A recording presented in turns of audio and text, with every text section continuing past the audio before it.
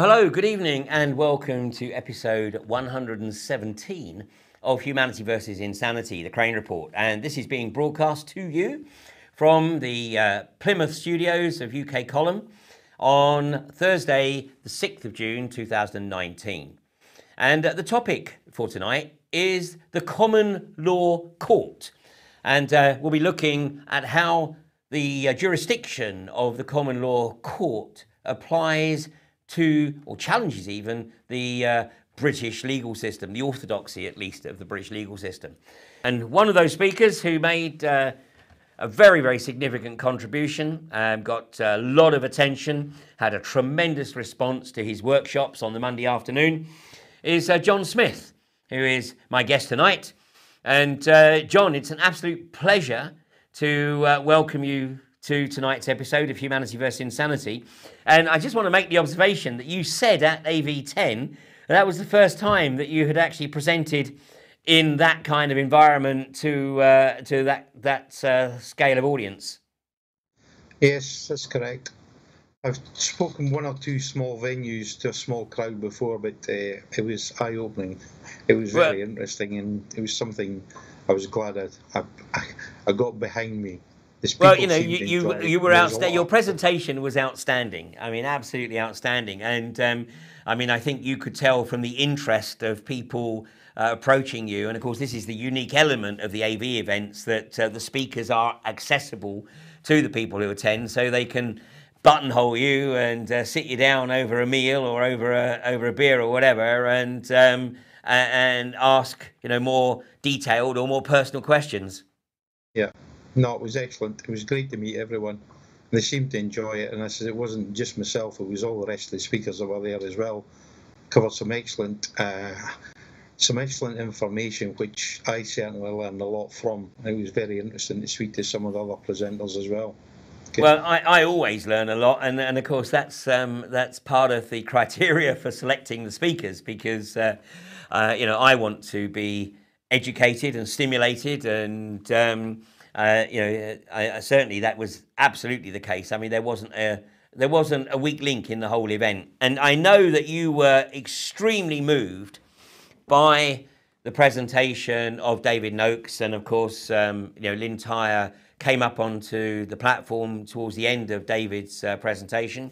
Lynn, of course, was and is, you know, uh, extremely emotional right now. And of course, she's still uh, feels that she is facing the prospect of extradition to France, despite uh, facing no charges uh, in the UK. And um, uh, you've had conversations with David and Lynn, and you've picked up the gauntlet uh, to fight or help Lynn resist this perverse extradition order that has been uh, put in place by Judge Supperstone. Yes, uh, well, the story itself is moving, and it's something which affects every individual in the country, not here but worldwide. And I think what's actually happened is, is the way that the state have attacked them is disgusting.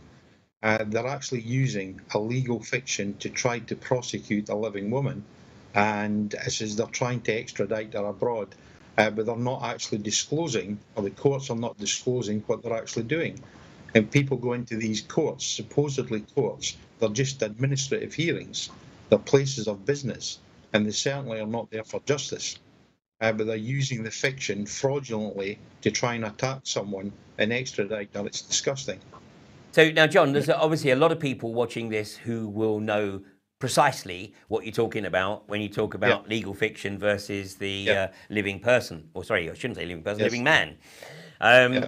Uh, but obviously, there may well be others who are not. So, could you give us a little bit of uh, an explanation on the difference between the fiction, the legal fiction, which um, unfortunately most people believe is uh, the living man, uh, but the courts know very well isn't? And so, give, give us a bit of an explanation as to how this works. Yeah, the state, as is for business purposes, decide to create a legal fiction at birth so they inform your parents that they are required to record your uh, birth with a birth certificate entry. In doing so, the state then create a legal fiction, but according to their rules, they're doing so fraudulently. because throughout your life, they will only ever deal with this fiction. They don't deal with a living man or woman. They only deal with the legal title, which is the fiction. So therefore, any contracts you have uh, are for the legal fiction. For example, you have a name on your driving license, on your passport, on your bank card. These are all legal fictions. They're not actually addressing you as a living man or woman. They're using the fiction to contract with you. Now, the difficulty about this is when they actually created this fiction, knowing what they were going to do, they have actually failed to inform anyone. Now, according to their rules under contract law, for uh, because it affects more than one individual, it affects the baby, the child, the parents, and the government. So, therefore, according to the state's rules, it is a contract. Now, again, according to their contract rules or contract law, as they put it, for a contract to be valid, there has to be full disclosure, which simply means all the parties involved must know what's going on. Well, certainly, I've never been told what they're doing, and my parents were informed, but the government have withheld this information. So, therefore, because there's no full disclosure, effectively the contract is void, which means that the use of the fiction by the state, the legal title for men and women, is fraudulent. Now, because it's fraudulent, we've decided at the Common Law Court when you actually confirm your uh, your ID or your your existence as a living man or woman, you can do so by submitting a declaration to the Common Law Court confirming your existence as a man and woman, but therefore you're allowed to claim ownership of the legal fiction. Now, the only way you can do this is because it was created fraudulently. So the state have no right to this. You cannot cancel it because it exists. It's on your driving license, it's on your passport, on your bank card.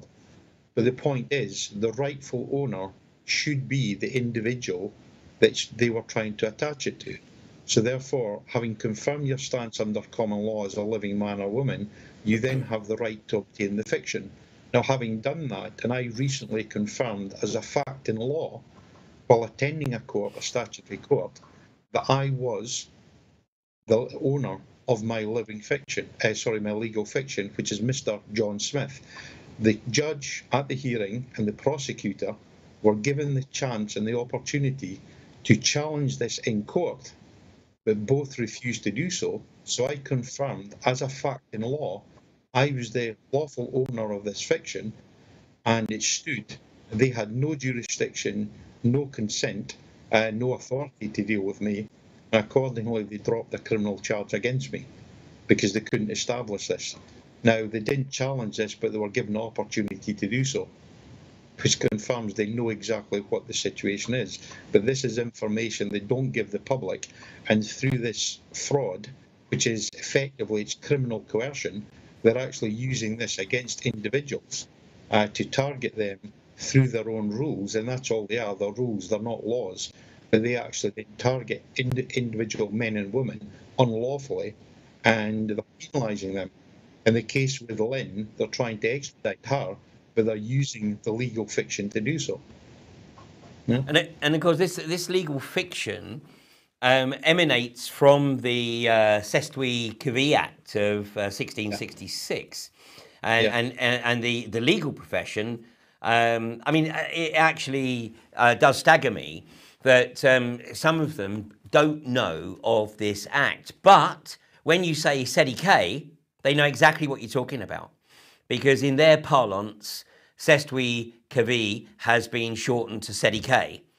And as soon as you say SEDI they know precisely what you're talking about.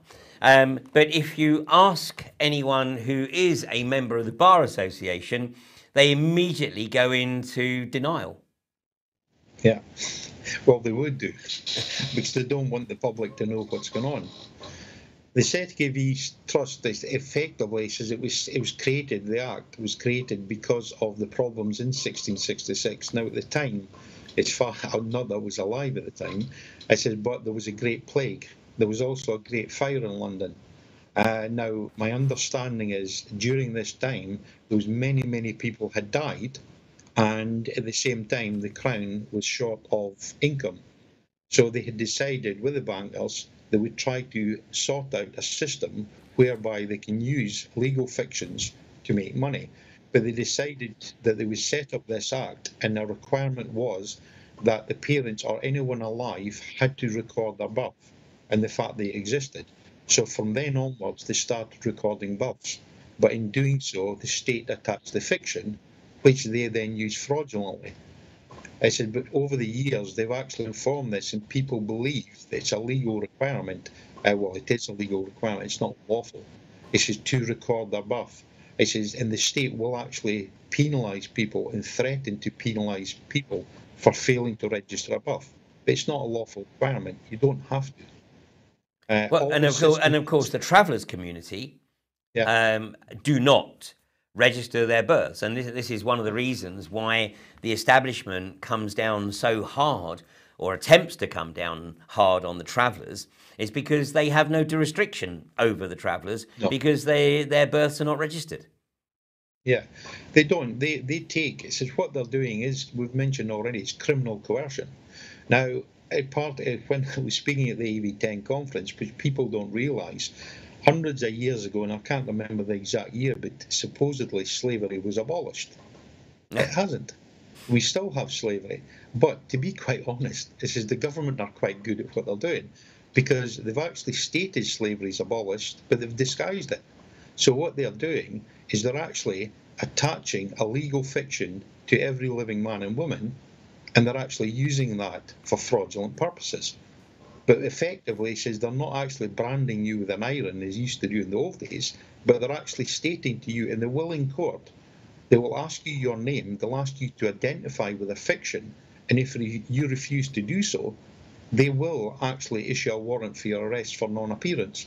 Now, you can actually stand and speak to a judge literally 10, 15 feet away, and they actually issue warrants for your non appearance because you will not accept the legal fiction. They cannot deal with a living man, which has been proven in my case and very various other cases. The state, because it's a corporation, it's a business and it's run for profit, they cannot deal with the living men, only fictions. If you but, do not accept the fiction, they have no control or authority over you, which is what we're trying to do in Lynn's case. Well, and of course, um, uh, uh, many people, again, watching uh, this program tonight will know that I also challenged the jurisdiction of the civil courts in exactly the same way when one of the uh, fracking companies tried to take me into bankruptcy, uh, supposedly for uh, court costs that had been awarded against me. And, um, uh, you know, to keep a long story short, but I resisted the, um, uh, the challenge on the basis that I was the executor of the Cestui Que Vie Trust, the CEDIK Trust, in the name of Ian Rowland Crane. And So, as the executor, uh, any attempt to administer that trust was unlawful. And uh, I actually appointed the registrar as the trustee of that uh, trust, and uh, basically he went into apoplexy. And, and the, you know, the way in which they ultimately dealt with it was very, very creative because what they actually did was they created another legal fiction in the name of Ian Roland Crane, but that legal fiction has nothing at all to do with me. It was created purely for the purpose of balancing the books. And uh, obviously, this is not something that everybody can uh, step up to because it does require an enormous amount of study and work and practice and actually learning to use what we think are English words in a completely different way. Yeah, yeah. It's quite clever having learned about this and watched people over the years and spoken to different people.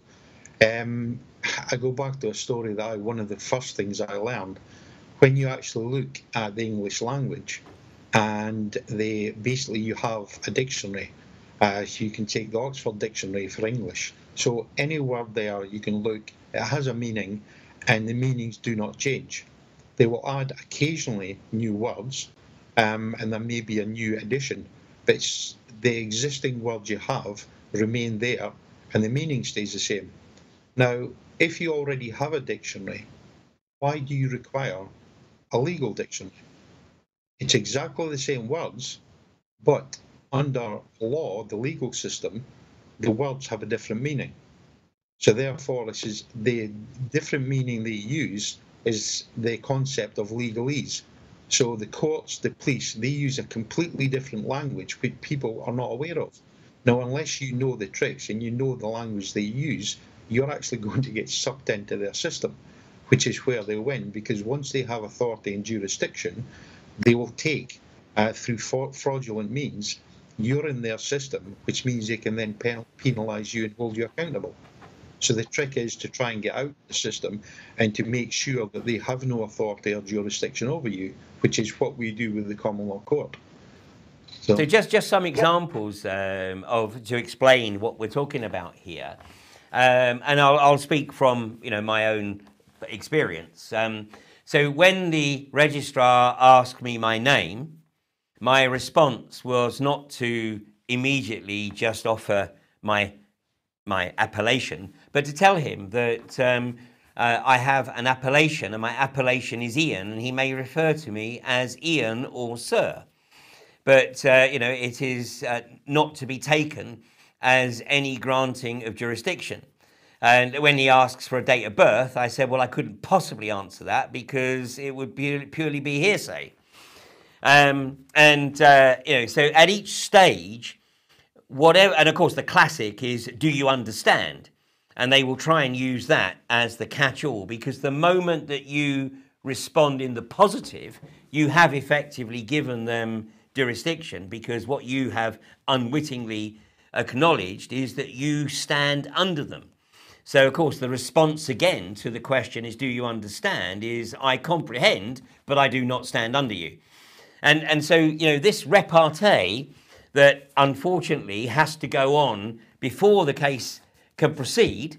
And uh, basically, either the judge or the registrar, in my case, um, acknowledges that they do not have the jurisdiction and so what they will tend to do is adjourn it uh, so that, you know, basically they can kick the can down the road and pass the problem on to somebody else.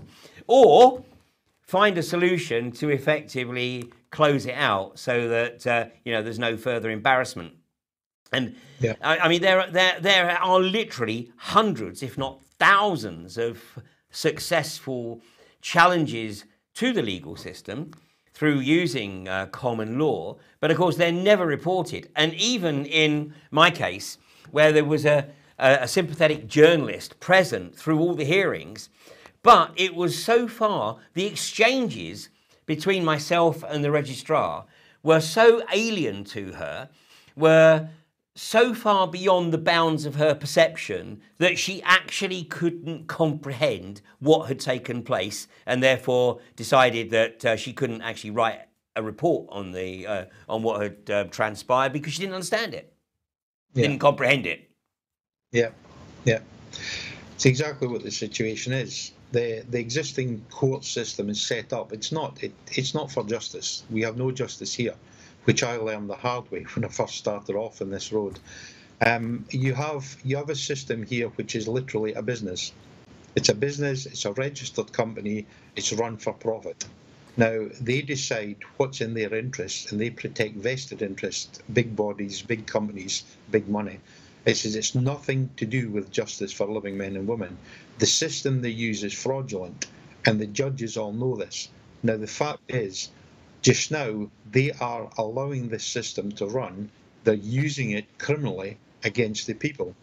Now, to do so, these idiots, which I call them, are not being held accountable because they're committing crimes on a daily basis in every court in this country.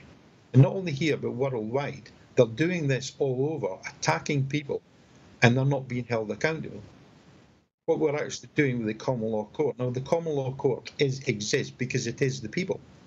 And the common law court is the people. It's not involved with the state. It's not connected to the state. It's not run by the state. It is the people. So, what the are the origins of the common law court, John? Yeah. What, what, what, are the origins of the common law court? Because uh, my understanding is it goes back to at least the 13th century. Oh, go back further than that. He says we, we go back. You see, you you've got you've got various documents have been established and the, the statutory systems have set up, or the justice systems have been set up predominantly using certain documents which people know of. You have the uh, Magna Carta in 1215. In Scotland, there was a, the Declaration of Arbroath in 1320, and then the Declaration of Arbroath was used with Magna Carta to set up the Declaration of Independence. Now, these documents are valid documents, they're used, but unfortunately, the state tried to dilute them or now ignore them. In this country, what they actually do is say that the Magna Carta has now been replaced because of statutory legislation, which is incorrect. This is the Magna Carta in 1215 stands to this day and can never be altered. But they're actually telling the public that it has been changed and they will relate the statutory laws which has done so. Now, again, statutory legislation is not law. It's a rule. It's a rule for a corporation, a company. It's the same as saying um, if you get a court summons to attend a court, they're courts, they're not courts, they're places of business, they're administrative hearings, they're not courts. But if you get a summons to attend there, it's exactly the same as a, a big company, a supermarket company, whether it's Tesco's or Asda, sending out a court summons for a parking violation in their car park. If they send out a summons inviting you to attend their premises because they're going to prosecute you for a parking offence, would you go to Tesco's for a hearing? No, you tell them to sort off. Well, it's exactly the same with the statutory courts. They're exactly the same. They have the same authority. It says they are just a corporation, a place of business. They're not law. It says now the people have the authority in this country. The people obviously have the authority, they make the laws, they decide. Now, based on the principles of causing no harm, no loss, no injury to anyone, and ensuring that you remain honourable in your contractual dealings. That is the basic principles. Now, we use the, the, the words as common law because this seems to be in the English speaking countries, most people uh, acknowledge common law in some shape or form. But the common law court is used, it's based on natural principles. It's effectively natural law. It's also universal law. It's also law of the land. It could be God's law. Now, it doesn't matter which which category you put it under. It's basic principles of natural law, God's law, the same. Doesn't matter where you come from, race, religion, this is your beliefs. It doesn't make any difference. This is applicable to everyone. Natural law principles, universal law, you can use this. Uh, it's applicable to everyone. If they confirm their standing as a living man or woman, you can do so and use this. Now, up until now, many of your listeners will have a record of their existence, but within this record, the only way I can clarify they exist would be with a statutory document. So you would find out where someone lived, you would go to the polling records, voters' roll, the council tax. You would go through the DVLA, uh, driving license. You've got passports. You've got bank cards, uh, national insurance num- uh, cards. All these things are statutory legislation. Up until the common law court set up a process, there is nowhere else in the world that actually has an international database available for living men and women. Now, we actually have this just now. As from today, we have 59 countries that have signed up to the Common Law Court. Now, it's not people viewing, it's actually people from 59 countries have recorded birth. So that's effectively confirmed that they exist as a living man or woman, which entitles them to use common law. Now, while common law and the common law court and the process is applicable to everyone, you can't actually use something if we don't even know you exist. So there's no charge for doing this, but by making a simple declaration of your existence, it then qualifies you to say, look, I am a living man, and I can confirm it. Now, we've done that in the statutory courts, and we've actually had the judges confirm when we've produced this information that they have no personal jurisdiction over a living man or woman. So therefore, you've got strike one, they've no authority. So then it comes to the second issue, which is that of the legal fiction, which it has been created fraudulently, and once you apply for ownership of it, you make an application. uh, you're then granted ownership of the fiction, and when you confirm that in court, you've taken away the authority and jurisdiction that they believe that they have. Exactly. It's, it's, it's, as de- declaring yourself as the yeah. Uh, executor of the trust in the name that appears on the legal fiction. So mm. now moving forward, obviously, um, uh, Lynn and uh, David um, have been victims of this fraud. And what's interesting is Ju- Judge Nicholas Loraine Smith, I think, went as far as he dare in acknowledging the, um, the fraud uh, when he said that this was not a court of law. He was not presiding, sorry, it was not a court of morality. He was not presiding over the moral issues. He was presiding over a court of law, uh, which by definition meant that he was effectively acting on behalf of the corporatocracy. And, uh, you know, but despite making that observation, of course, he still went ahead and um, uh, carried out the duties for which he's extremely handsomely well paid. And I believe is about to get another 70 odd thousand pounds on top for the, uh, the role of protecting the, uh, the state. Now, yeah. so Lynn, uh, uh, David obviously served his sentence, or he's in the process of serving the sentence. He's out of jail, still tagged, still under curfew. Lynn, of course, faced no criminal charges whatsoever in the UK. Um, but the French have sought to extradite her. And, uh, you know, I was witness to the fraud perpetrated by Judge uh, Michael Supperstone, um, who, despite a total lack of evidence, uh, and, and didn't even have the cojones to uh, make a ruling in court, um, waited until some six weeks later and then simply wrote to her and said, Yep, you're going to be extradited. And, and of course, that had happened literally, I think, 24 hours before Lynn uh, and David came up to um, AV10 at the beginning of May.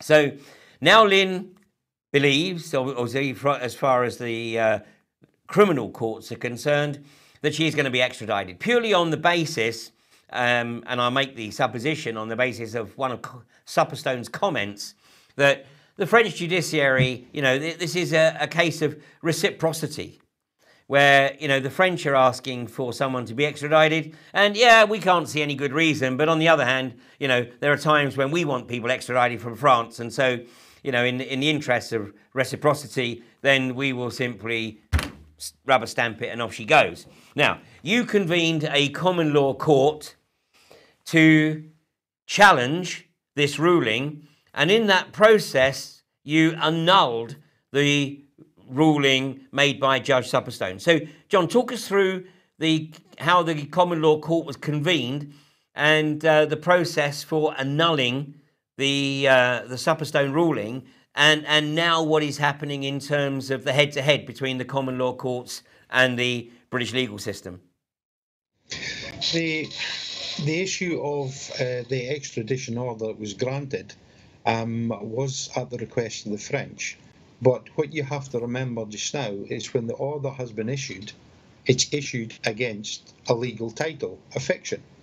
Effectively, it's not issued against a living woman because they have no authority over a living woman. So they're using fraud to try to attach the fiction to a living woman. Now, they can't do that. That's fraudulent in itself. Now, while we occasionally hear stories of certain judges in the statutory courts, as they call them. Uh, they put out some comments uh, occasionally saying that they're speaking about courts of morality and various things like that. That that while that's good to hear these sort of things in court, as you said just now, it doesn't prevent them from proceeding anyway. And in doing so, they're committing fraud because they're using fraudulently the legal title without full disclosure. So what we actually did, or what I did, having met them at AV10, listened to the story as well, and then decided this is unacceptable, I'd actually spoken to them just now. Now, given the state uh, that Lynn is in just now and the effect it's had on her, it's difficult for her to go in and deal with this matter in court. So I'd put it to her just now that obviously she shouldn't be dealing with this. And after speaking to her, I actually obtained the power of attorney for her, which would allow me to address this situation. So, having obtained the power of attorney for her, I then decided to speak to her and say, right, what I'm going to do now is I need, I says, I need to obtain ownership of the legal title, which had not been claimed. So therefore, I obtained ownership of the legal title for Lynn, Lynda. Now, that being the case, I then decided, based on the decision from Justice Supperstone, that that effectively was fraudulent. So I decided to convene a common law court. Now, the common law court, which we've pointed out earlier, is the people. There are requirements for convening a common law hearing, and one of the requirements are that you have to advertise the fact that you're convening a court, which is done through the website on a public notice, and also on the premises where the hearing is to be held. So therefore, you give notice of your intention to convene a court, and then basically the the public turn up. It's open to anyone to attend. They can turn up. They're then informed about the procedure, what's going to happen, and then you require court officers and jury members. Now, this is done randomly through random selection. Um, if hypothetically you ask for jury members and you have 24 volunteers, well, the juries we only actually convene with 12. So if you have 24 people volunteering, we explain that we have too many and ask if some of them will decline from proceeding with this or volunteer if 12 people were just to put their hands down and say, look, we won't bother, if we're left with 12, that's fine, we'll take the 12. If the 24 stayed and said, no, we all want to do it, well, then what we do is draw lots randomly to select 12 jury members. The same applies to court officers, and they're given instruction in relation to their role and what they do. When I actually presented the case, I presented it to the common law court. The common law court is the people. It's not one individual. I was there taking a case to the court. So I put the information to the people, and it was simple. In relation to Lynda's situation, they had actually issued an extradition order through the fraudulent, use of the name, the title that they wish to attach to her, and they, they've done so without full disclosure in the statutory courts, which are not even courts. So they haven't even established proper authority and jurisdiction to deal with it. It's all fraudulent. So based on the information and the documentation we'd had, I put this before a jury to explain the situation. The jury adjourned and took about an hour or so to come up with a decision, but they had decided that they would annul the decision, which I had asked for. They also decided, because of the use of the 1939 Cancer Act, they decided it was unacceptable, so they've actually cancelled that, annulled it. So that's been struck off as well. And then they actually give an order to remove Justice Supperstone from his position immediately without any financial be- benefits. So that was done as well. Now, uh, in relation to that, there was a final order which stated that the assets that were taken from David and Lynda should be returned within 14 days as well. So that order was given, and then based on that, was submitted it to the courts. Now, initially, because the the procedure had been dealt with at an appeal court, at the High Court in London, at the Strand. They initially get the copy of the, paperwork in relation to this. So what I've done is I lodged, because I have power of attorney and ownership of the legal fiction, I own, uh, sorry, I submitted the paperwork to the High Court explaining that I was lodging a challenge to their authority and jurisdiction. And I also informed them that the uh, the extradition order has now been annulled. Now, despite putting it in by email and then having recorded uh, a receipt for recorded delivery the very next day, they have the paperwork, and despite numerous phone calls to them, they will not speak to me. And that went in last Thursday, so we had Thursday, Friday, and then Monday and Tuesday. They wouldn't speak to me at all. So therefore, I decided to move up because ultimately it will go to the Supreme Court so I contacted the Supreme Court today and said, look, they're not responding. This is a matter of urgency. They cannot ignore this. It's coming here anyway. So I'm now lodging a challenge to the, the Supreme Court.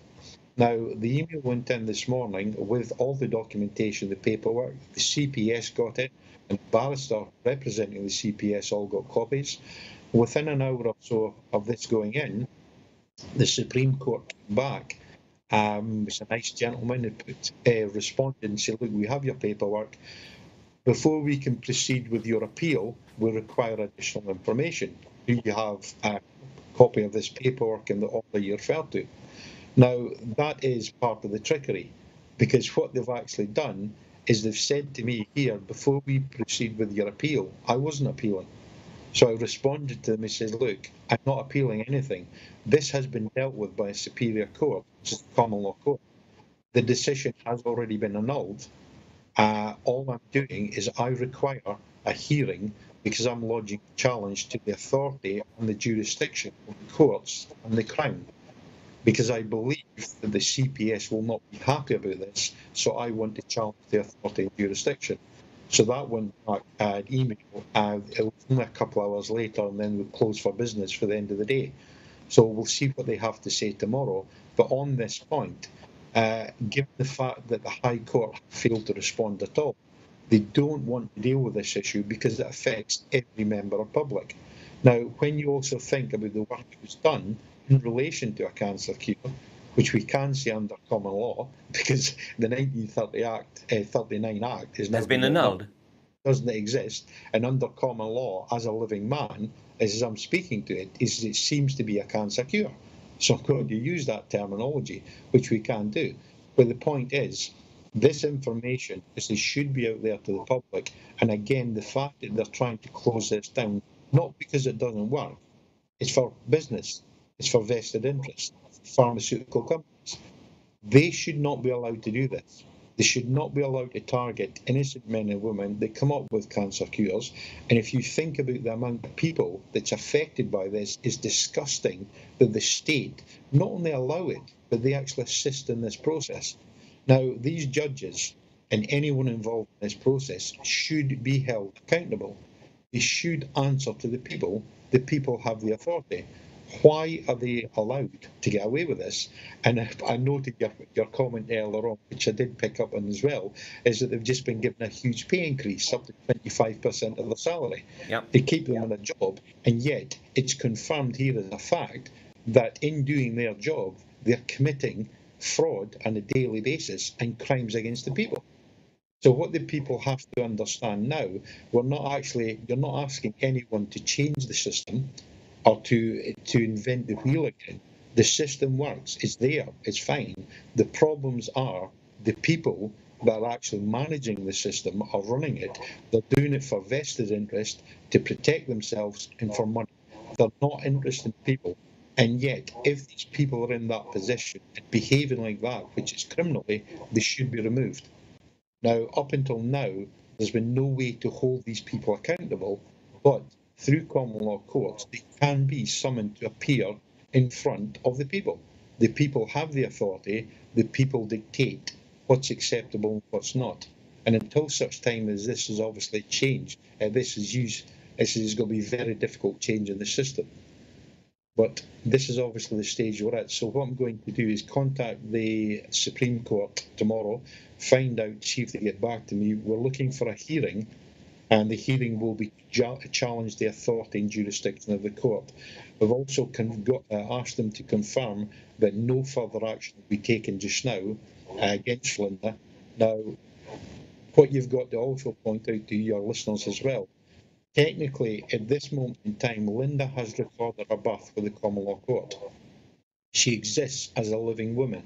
That is confirmed, and that has already been accepted in the statutory courts with the production of a common law birth certificate, they have no authority over a living woman. The only other thing way that they can attack her is through the legal fiction. But unfortunately, the legal fiction is not attached to her. I own the legal fiction, it's mine. So therefore, if they're issuing a sentence or a, a, an extradition order against the fiction, it's got nothing to do with Lynda. I have the fiction. And unfortunately, they can't get away with what they're doing because it's fraudulent anyway. It's criminal coercion. And not only that, it's based on the presumption that the legal fiction was involved in the production distribution of this product. However, it's not. I own the fiction. I've never seen the product. I know nothing about it. It's as I've not been involved in. So they can't deal with that. And again, they do not have the authority or jurisdiction to even rule in this matter because I don't consent to it. Uh, they've already accepted the fact they've no personal jurisdiction over a living man anyway. So, unfortunately, this is, it's going to be very difficult for the state to argue this. But what we need people to do just now is to show support, stand with her. Ideally, is to contact the Supreme Court. Right, we have the uh, we have the contact details up on screen here, and uh, uh, this is the modified version of what um, uh, was put up on my uh, YouTube live stream the other day. Um, so, because obviously it's now escalated to the Supreme Court, so here's the uh, here's the request, and, and this is obviously your your handiwork to support David Noakes and Lynda Thyer.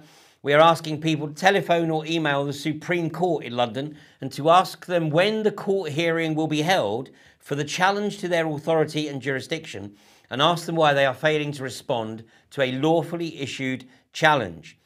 And uh, they should email they should send their email to registry at supremecourt.uk.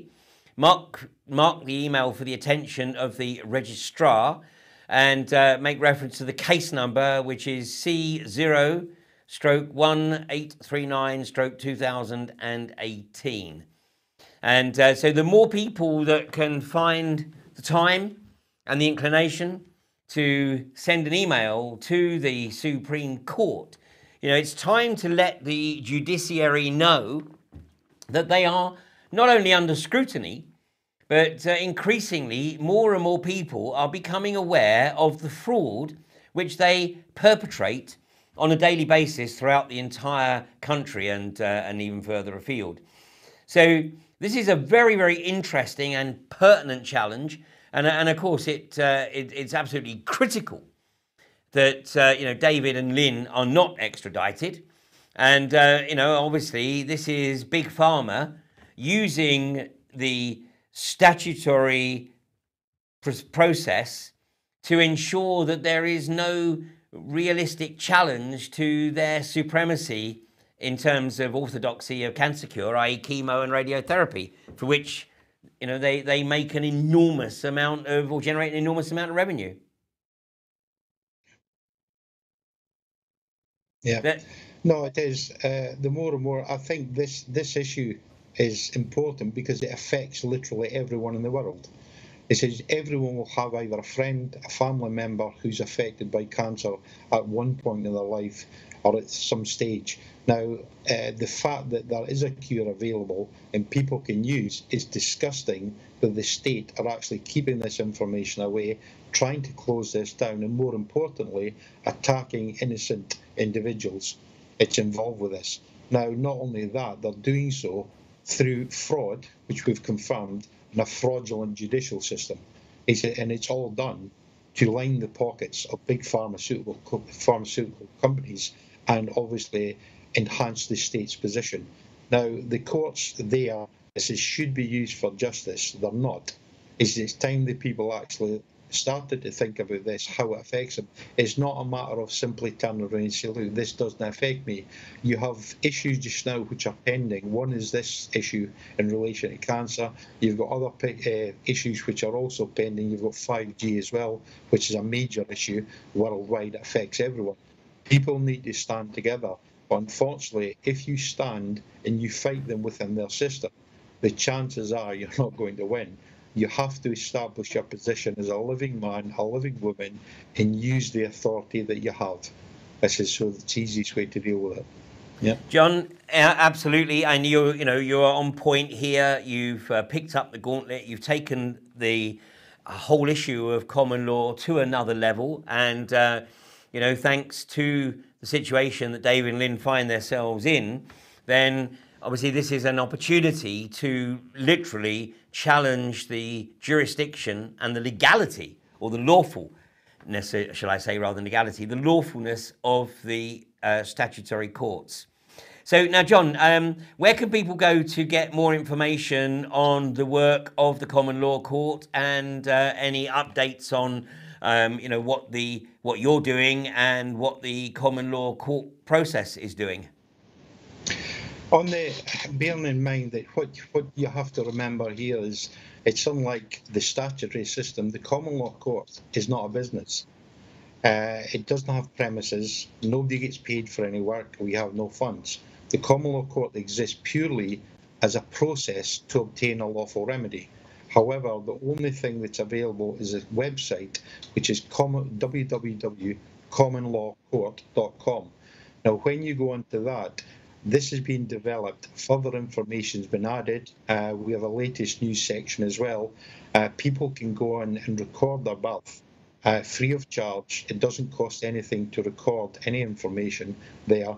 It's to establish your position as a living man and woman, and then the updates will be there. There's a video page and an opportunity for people to submit a two to three minute video should they wish to comment on any issues which they believe are applicable to a legal or lawful system uh, in relation to this, uh, the issue with cancer, or in relation to 5G, or anything else, even the behaviour of the state. They can record the video, submit that. This is available for everyone to view free of charge. Uh, to see with the latest news, anything will go up. There is a forum which we've just started as well, but we've got many people using this just now. There'll be additional contacts set up on the coming week uh, throughout the UK because of many people involved in this. And as I said earlier on, we're now up to 59 countries with people recording of us on the site. So it's there, everything's on there. Uh, there will be additional information. There's also the opportunity for people to join in and to assist in this process. But uh, they can do that. There's also a contact on the website as well if they want information. Excellent. John, thank you so much for driving this initiative. Uh, thank you for um, your outstanding presentation at uh, AV10. And um, obviously, you know, keep me posted and uh, I will share, you know, whatever I can through my, uh, you know, morning bulletins.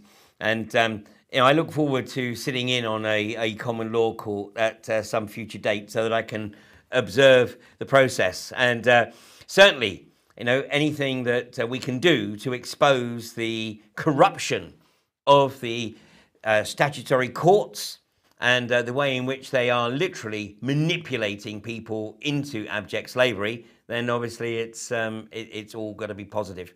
So, meanwhile, of course, the primary objective here is to prevent Lynn's extradition. And, uh, you know, this is a subject very, very close to many people's heart. And, uh, you know, if Lynn is extradited, and obviously David starts uh, the court process or is scheduled to start the court process next February, then if he's extradited to France, then I mean it will be an absolute travesty. And of course, Big Pharma will have uh, uh, protected its revenue. So, John, thanks so much for joining me this evening. And um, I'm sure it's not the it's the first, but I'm sure it won't be the last time that uh, you appear as a guest on Humanity versus Insanity. So, once again, thanks for everything that you're doing on this particular subject. Yeah, well, again, thanks for having me, and also thank you to the viewers for listening in. Uh, hopefully, should have found it informative. Okay. And uh, well, you know, obviously, it's a tough subject. Like I've said, it's um, so far beyond most people's bounds of perception. It really does take a real effort to get your head around. Um, and uh, you know, as um, was obviously the case with John, and in my case, then there's nothing that helps get your head around it than uh, it actually getting right up close and personal to each and each of us. And uh, just to emphasize the uh, website again, where you can get the information and um, register your birth with the Common Law Court is www.commonlawcourt.com.